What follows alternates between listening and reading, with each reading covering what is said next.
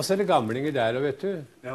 Med, det går jo gjerne løs på eldre folk. Ja. Som det gjør i folkekomedien i Skjærgårdsflørt, i Brødre Østmanns huskors og, så videre, som vi kjenner. Det var på et eh, eldrehjem. Det var tre karer da, som satt gjerne i solveggen på en benk der når det var fint vær. Så en dag var den ene borte, sier du. Og så spoler han det, en av dem, da er, står til med Per, er det noe galt med han? Han er blitt så stiv i nakken. Jaha. Og hun bestyrerinna sier at han har sittet for mye i åpent vindu.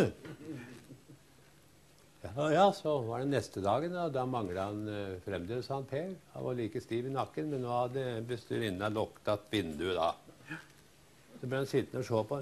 'Du har glemt å ha igjen buksesmekken din, du', sa han. Ja, det er bare et eksperiment.